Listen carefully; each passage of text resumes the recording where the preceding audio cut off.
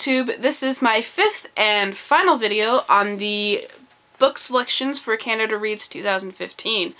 Um, if you don't know, Canada Reads is a competition set up by CBC where they take five well-known Canadians and ask them to defend five Canadian books. Um, and each week, each day, sorry, a book is voted off, and the winning book is a book that they think every Canadian should read. This year we have a theme, and that theme is a book to break barriers. I'm just going to get my review up here.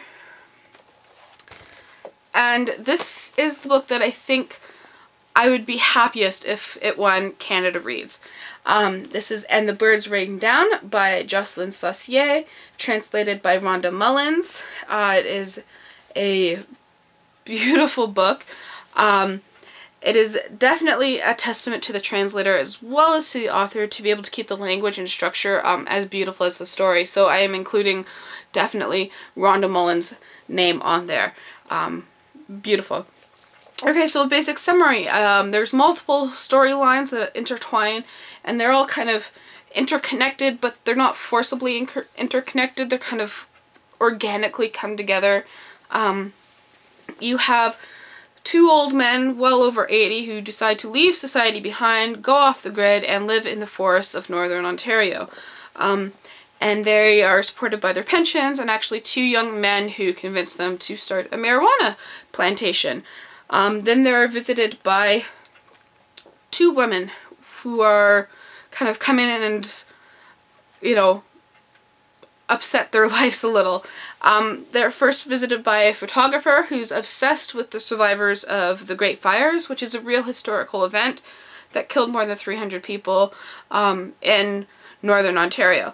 Um, and a woman who had spent the last 66 years of her life locked up in a mental institution. Um, so each person has their own story that doesn't kind of interfere with the lives of the others um, and doesn't really contrast them but rather complements them. Um, uh, for example, the photographer is trying to uncover the life of a legendary figure of the fires and although he's dead, she discovers his legacy and um, an unlikely but very beautiful relationship amongst all these older people. Um, I find that it's, it's presented like uh, almost like a documentary um, with a voiceover. Um, I'll show you here. Um, we have the plain text here and then the kind of italicized sections here where this is kind of like the voiceover where she's setting the scene or explaining things in kind of an omniscient sense as opposed to these character-driven narratives in the plain text. Um, is this a book to break barriers? I think so. Um, the number of topics covered and how they are covered are really thought-provoking and definitely I think they break barriers.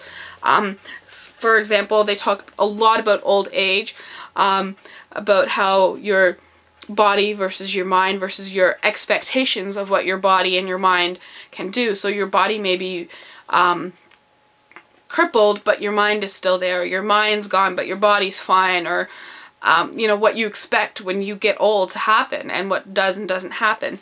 Um, and I think Martha Wainwright put it very funnily when she said there's some geriatric sexual mishaps that happen in the book. Um, but it's not, it's not funny, it's, it's, it's beautiful. Um, uh, there's also um, the issue that is very big in Canada right now about controlling how you die.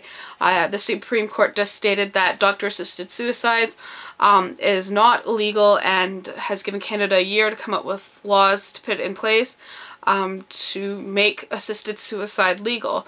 Um, and that's an, an, issue that they address in this book about not being afraid of death um, and even maybe changing your mind if you decide that you want to control that. Um, if you wanted to you know, to, to end your life and then changing your mind because it's not something that you're totally set on, that these things kind of change throughout life. Um, it also talks a lot about marijuana usage in kind of a very neutral type way. Um, and there's a lot about history here. I mean, I never heard of the um, Great Fires of 1916. Um, and I'm surprised I can tell you anything about World War One, but ask me about the Great Fires, and if it wasn't for this book, I wouldn't have known. Um, but I can tell you certainly that I think it is a very important part of Canadian history and that it should be taught in schools. Um, as well, mental health issues are addressed in this book. Um, it really exposes Canada's history of locking up unwanted people um, and mistreating them both socially, medically, sexually, all these all these ways. You know, people with mental health issues or people who are just peculiar were, were being locked up and and it the one of the one of the characters has mental health issues. Obviously, the the person who escaped from the mental institution and. Um, the way that they they address it is just like she's one of the other characters. It's nothing, um, you know, that's kind of pointed out all the time. Like, look at this, look at this, look at this, look at this, which is what a, I found with a few of the other books um, that were addressing with these issues. It was just kind of like there's these blinking lights going off. No, this is kind of organically put in. It's a part of the story. It's very beautifully done. Um, so I think this book is beautiful. It addresses so many issues. Um, and Martha Wainwright is awesome. So this book is going to win Canada Reads. I really, really hope it does anyways. Uh, so let me know if you've read this. Um, I can't remember the French because my French is really bad. Oh, here. If you read this in French, it would be called Il pleuvait de Ossu. Really bad. Um, but in, in English, it's And the Birds Rain Down. Uh, so yes, let me know what you thought about it and what book you think should read Canada Reads. And remember to keep on reading. Hey, you might want to check out Pickle's Instagram, Twitter, Goodreads, and other social media links in the description bar underneath.